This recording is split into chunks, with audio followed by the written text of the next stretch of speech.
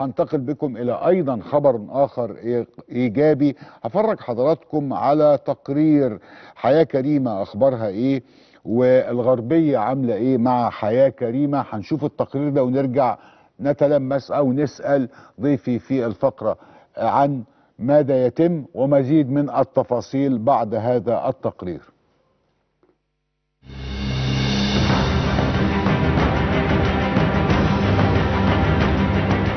في ظل متابعة مشروعات المبادرة الرئاسية حياة كريمة التي تستمر في الإنشاء تنفيذا لتوجيهات الرئيس عبد الفتاح السيسي بتطوير القرى الأكثر احتياجا. هنا في قرية شبرملس التابعة لمركز زفتة بمحافظة الغربية نجد مشروعات كثيرة تم الانتهاء من معظمها في المرحلة الأولى بنسبة 95% الناس حاليا حست إن في تغيير يعني يتعدى 360 درجة 180 درجة.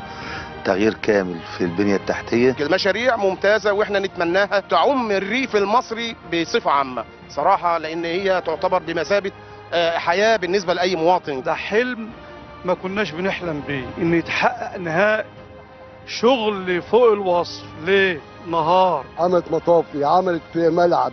عملت موقف عملت جميع كل حاجة حلوة في البلد. مشروعات خدمية افتقدها الأهالي على مدى السنوات الماضية وهو ما جعل الأهالي يحرصون على توجيه الشكر للقائمين على هذه المبادرة.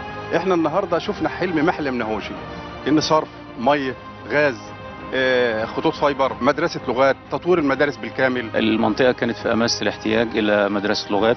وتحققت الأمنية الحمد لله لأنه المنطقة فيها كثافة سكانية عالية وعلى استعداد لهذا النوع من التعليم. إسعاف جديد بريد جديد جمعية زراعية جديدة ملعب جديد نادي جديد كل حاجة بقت جميلة. المبادرة الرئاسية مستمرة في تطوير الريف المصري بكل محافظات الجمهورية من أجل حياة كريمة التي تستهدف أكثر من 50 مليون مواطن مصري.